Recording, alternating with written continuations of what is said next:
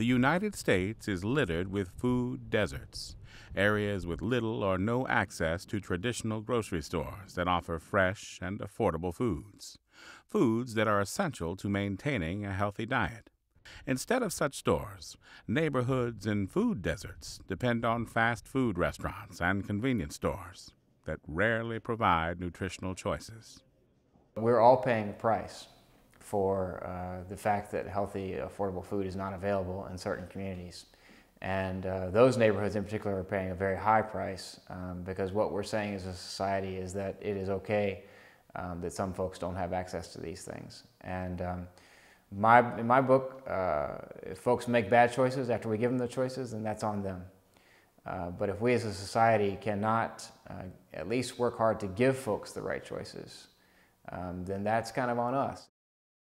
Nationally, 23.5 million people live in a food desert. In South Carolina alone, over a billion dollars a year uh, is spent on treatment of obesity to obesity related health problems. That's a lot of money, and that cost can be brought down by increased access to healthy foods. If you look at the health outcomes of food deserts, um, they're drastically worse than the health outcomes of uh, neighborhoods that have access to grocery stores and quality, affordable foods. And when those health outcomes go bad, uh, we all pay the price. And we as a society can do any amount of education about diabetes and hypertension and that kind of thing, but if people fundamentally can't get better food, then no amount of education is going to change the game. Obesity is the fastest growing public health challenge the nation has ever faced. One of the things that's, that's, that's I guess, essentially important is that you eat healthy. But how can you eat healthy when you can't afford it? You can teach kids how to eat healthy all you want to.